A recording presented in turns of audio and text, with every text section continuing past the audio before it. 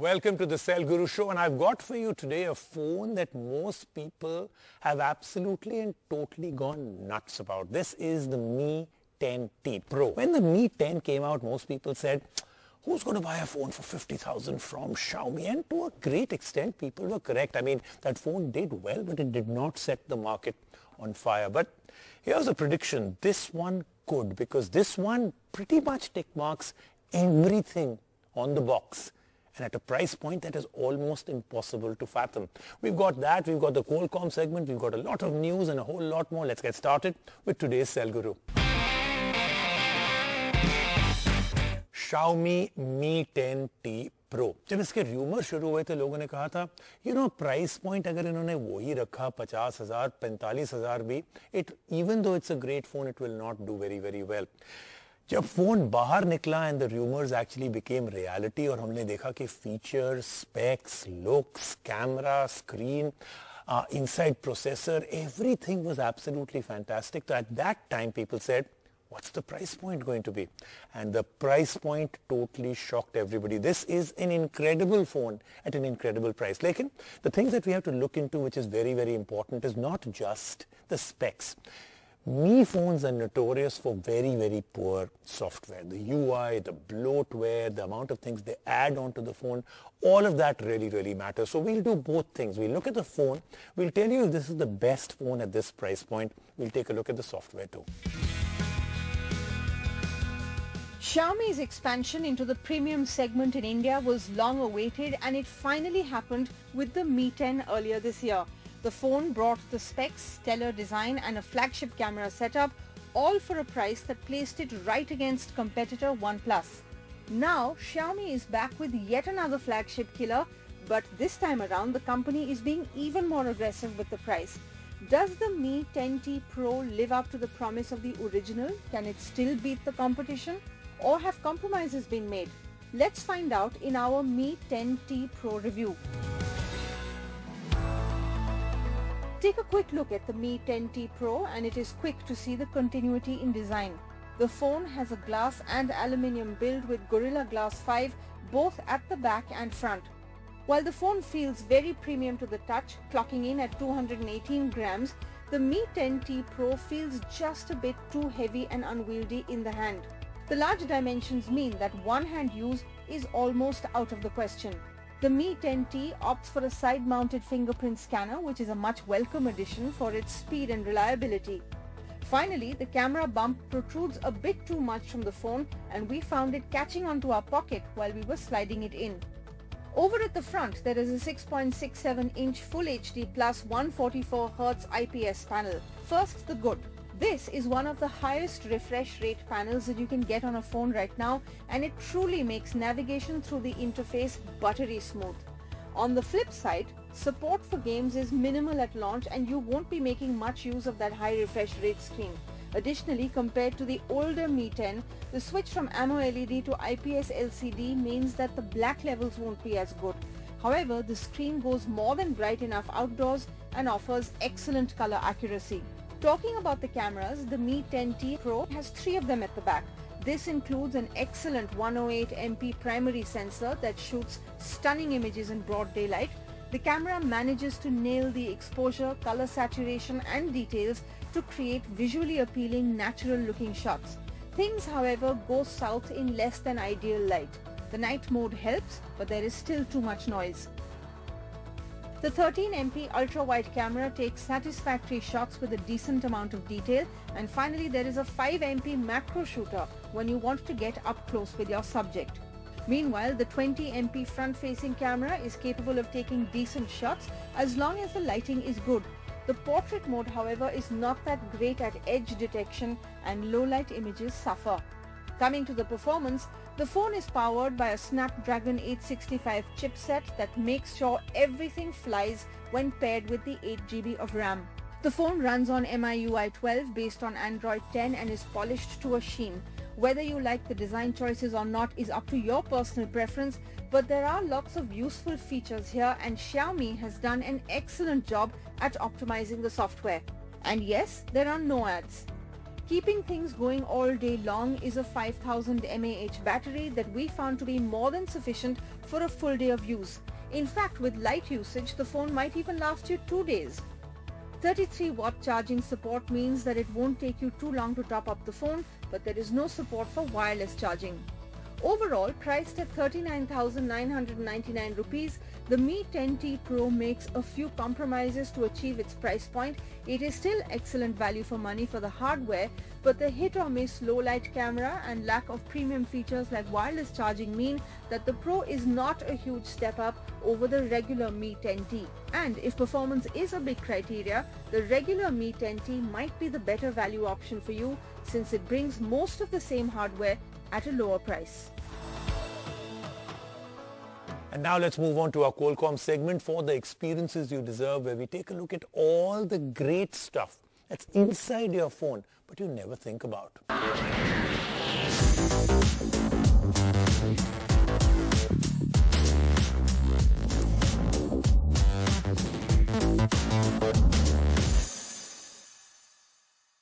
You know, it's been a while since any of us had to go to a store to pick up a copy of the latest movie. Remember going to a PCO or booth to make a phone call? Or if you want a real throwback, how many of you remember writing handwritten letters or notes? A time when the only emojis were hand-drawn smileys and hearts. Or sending your camera roll for developing so that you could actually see the pictures you've taken. Fast forward to today, the smartphone is not just a part of our life, they could well be an extension of our arms. From doing basically everything we do with one touch to often doing those anyway without even needing any input at all. It's a very different world where we are served a beautiful plate of food. We first take a photo of it instead of digging into that food. I mean, how many of us do it, right? We add 20 emojis at the end of our LOLs and record multiple videos of that puppy we see just because that puppy is just so cute. But have you ever really given it some serious thought how this thin slab of glass and metal in your hand actually pulls off so much magic? It's of course the processor inside the smartphone that does it all. But what is this processor we keep talking about? I mean, what does it really look like? It's there deep inside your phone. What does it contain? How is it actually built? Just how small is this marvel of engineering? Actually, you may have heard that good things come in small packages. Well, that package is really small and really thin. You see, a smartphone processor is made of billions of transistors and each of these transistors is a mere 7 nm. What's even more fascinating is this tiny piece of silicon houses billions of transistors and is responsible for everything our smartphones actually do. It has components like the CPU, which is the real brain behind our smartphones, the GPU, which is the graphic processor unit, which handles graphics during your gaming sessions and everything else. Now there's even an image processing unit whose job is to convert numbers and code from the camera into pictures and videos that we all actually love. Now, one company that is leading the charge in processor technology is Qualcomm, which develops the Snapdragon brand of mobile platforms. Did you know that a lot of this development happens right here in our backyard in India? Qualcomm has development centers in Hyderabad and Bangalore and employs more than 10,000 engineers to work on these very high-tech developments. So take a seat and join me on a wonderful journey inside your smartphone.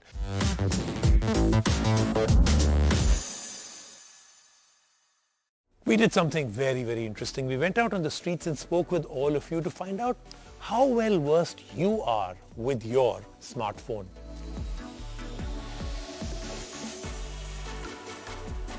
Key components are battery, screen, fingerprint sensor, then there will be a motherboard. The fingerprint touches there. camera, the processor. The display, there's a battery, there's a camera.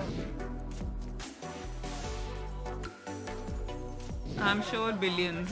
Millions. 50 lakhs Billion lines only. It will be millions of, more than like uh, 10 million lines of code I think.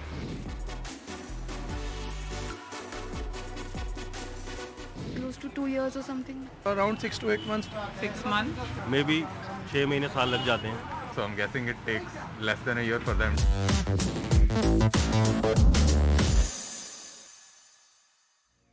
Today we have a different format. We have two people joining us. First, Shashi Reddy, Vice President Engineering Qualcomm India Private Limited, who manages Qualcomm's Hyderabad Center, and Srini Madali, Vice President Engineering Qualcomm India Private Limited, who manages Qualcomm's Bangalore Center. Fascinating, right? Let's hear from them about the overall journey of making a processor. Now, gentlemen, a couple of weeks ago we learned that it takes about two years from the day you start planning a processor to the day handsets with that processor become available in the hands of consumers. Can you explain overall the process and why it takes so long and what all is involved in making of a processor? Great question, Rajiv. First of all, let me tell you that processor is a very constrained terminology in the context of Snapdragon platforms. What we deliver is a complete mobile platform. It's a system level solution that can meet the evolving needs of today's cell phone user. Today's cell phone is a lot more than a communication device. It's a convergence of multiple consumer devices. Mobile platform is a hardware software environment developed for smartphones, laptops, tablets, and other portable devices. The platform solution comprises of hardware parts such as CPU, GPU, NPU, signal processors, modem engine, AI engine. It also has wireless transceivers, RF parts, audio codecs, Wi-Fi connectivity, and quick charge. There is also the associated software components which go along with it. These are like communication system software for 4G, 5G, Wi-Fi, Bluetooth, wireless protocols, multimedia software for camera, audio, video, graphics, for gaming, along with the OS support software for Android and Windows, security software, AI engines for implementing on-device AI. All these components are packaged into the Snapdragon platform. Shashi talked about a very important point, the Snapdragon platform. I would like to add a bit more color to it. The Snapdragon platform is a very important in many ways for us, our customers and consumers. From Qualcomm point of view, we design hardware engines in Snapdragon chips to enable flexibility. The platform approach helps to meet our customer requirements and ability to scale and enhance the user experience without compromising their seamless capabilities expected by the phone users. For our customers, the handset developers, it provides great flexibility to differentiate the phone. They do so by choosing different hardware parts such as a display, camera, sensors to differentiate a phone model from the other models. The phone manufacturers leverage the hardware in Snapdragon chip to create superior user experience that consumers enjoy. As an example, camera or video quality in different light conditions or different scenarios, graphics capability to create realistic gaming experiences. So the Snapdragon platform gives a huge advantage to our customers and added benefit to consumers. You know, this is so, so interesting. I could sit for hours and talk about all this. Okay, so what are the key stages and steps in this development? As you mentioned, Rajiv, the process starts two plus years before you see the devices in the market.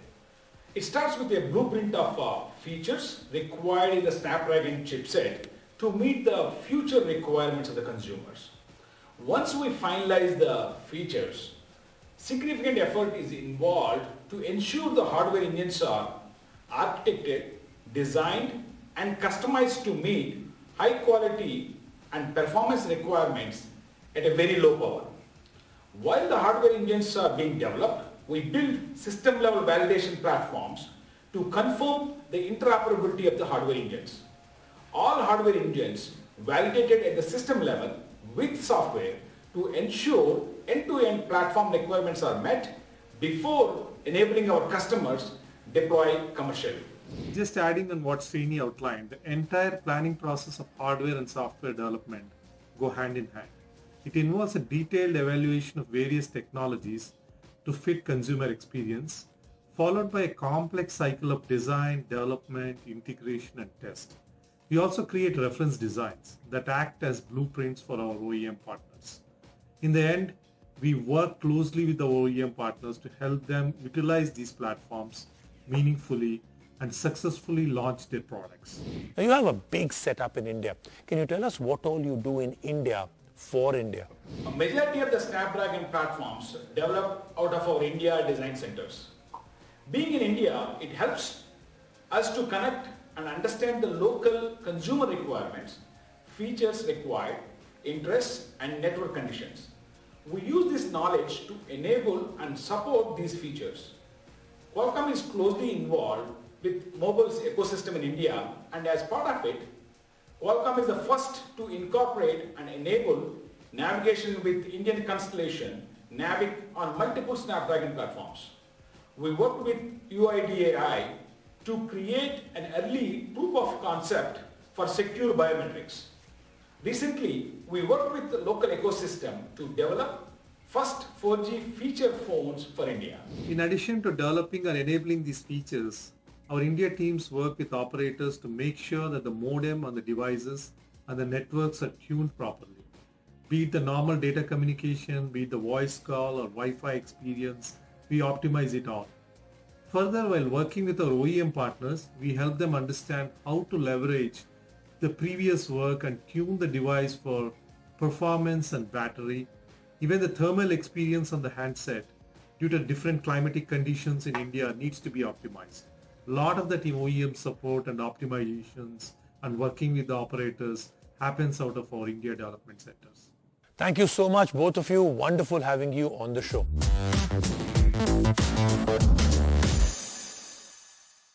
Let's take a quick break right now on the show and we come back lots more.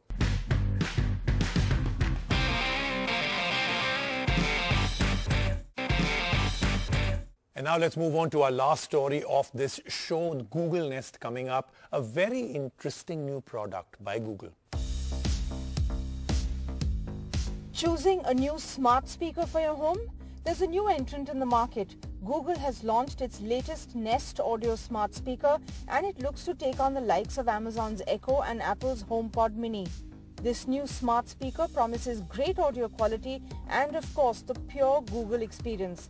The Nest Audio is built like a cylinder with a unidirectional speaker. It has a soft feel to it and is covered with a plastic mesh fabric. There are four LED indicators on the front that show volume level. While the design may not be the best, the audio output is very promising. The Nest Audio has great sound quality and can be heard from across the room with ease. The speaker comes equipped with a fully functional Google Assistant, which means that it responds to any and every question you can ask. For setting up the Nest Audio, you will need the Google Home app. The app is easy to navigate and after connecting to the Wi-Fi, it does everything on its own. There isn't a lot to complain about with the Nest Audio.